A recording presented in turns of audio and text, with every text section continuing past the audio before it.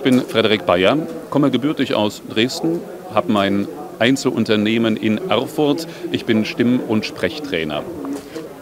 Ich helfe anderen Menschen dabei, insbesondere Managern und Führungskräften, besser mit der Stimme klarzukommen, beispielsweise länger durchzuhalten, ohne heiser zu werden oder stress- und angstfrei zu präsentieren, gerade in schwierigen Situationen. Das ist mein Job, da kann ich, wie gesagt, anderen Menschen dabei helfen. Ich kann Menschen dazu verhelfen, besser durchzuhalten, mit der Stimme andere Menschen zu begeistern, mitzureißen, zu punkten, von ihren eigenen Ideen, Produkten oder Dienstleistungen wirklich zu überzeugen. Und da spielt die Stimme tatsächlich eine Schlüsselrolle in dieser Kommunikation.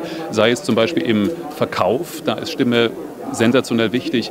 Genauso bei Präsentationen in Meetings, beim Smalltalk, auf einer Messe, bei Telefonkonferenzen und, und, und. Immer kommunizieren wir in allererster Linie mündlich. Die Stimme ist ein, aus meiner Sicht, eine sehr unterschätzte Ressource und ich helfe halt anderen Menschen dabei, diese Ressource für sich zu entdecken.